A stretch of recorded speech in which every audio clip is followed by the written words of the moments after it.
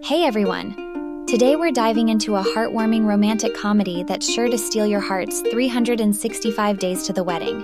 If you're a fan of romance, humor, and a sprinkle of drama, this one's a must watch. In 365 Days to the Wedding, we follow Takuya and Rika, two shy co workers at a Tokyo travel agency. Both are content with their single lives until their company announces that unmarried employees will be transferred to a remote Siberian office.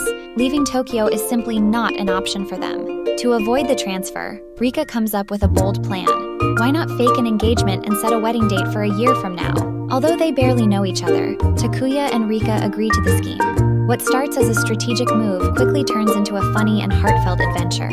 As they manage their fake engagement, they encounter humorous situations, societal pressures, and moments that challenge their feelings for each other.